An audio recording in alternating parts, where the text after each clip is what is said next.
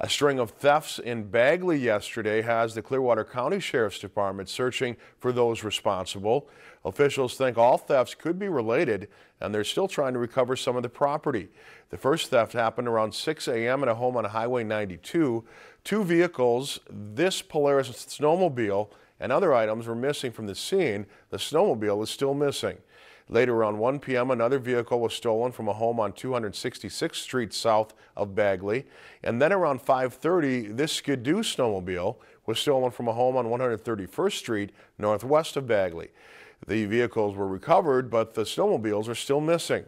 Deputies were able to obtain fingerprints and took DNA swabs as evidence. No suspects have been named, though, and anyone with any information is asked to contact the Clearwater County Sheriff's Office. If you enjoyed this segment of Lakeland News, please consider making a tax-deductible contribution to Lakeland PBS.